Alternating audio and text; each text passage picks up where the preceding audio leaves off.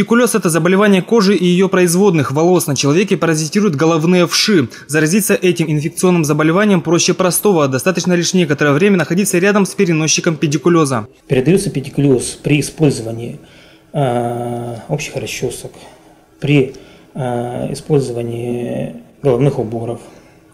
Сейчас модное явление такое, как селфи, когда идет э, фотографирование да, на мобильный телефон, и если селфи проводят с несколькими людьми, голова к голове, то возникает тоже риск, возникает риск вот этого педикулеза.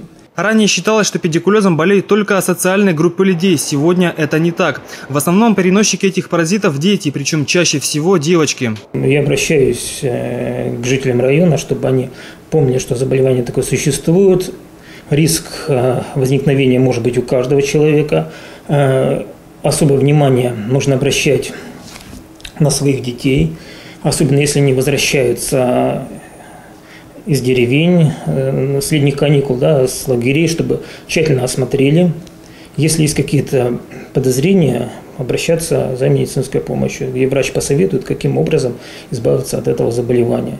В прошлом году Вологодская область была лидером в стране по числу человека, у которых обнаружили в шее 571 человек на 100 тысяч населения. Паразиты могут передаваться через одежду, белье, предметы обихода, расчески. Заразиться педикулезом можно даже в общественном транспорте. Специалисты настоятельно рекомендуют соблюдать правила личной гигиены, стараться не контактировать с незнакомыми людьми, периодически проходить медосмотры и ни в коем случае не заниматься самолечением. Юрий Воронин, Максим Колосов. Новости провинции.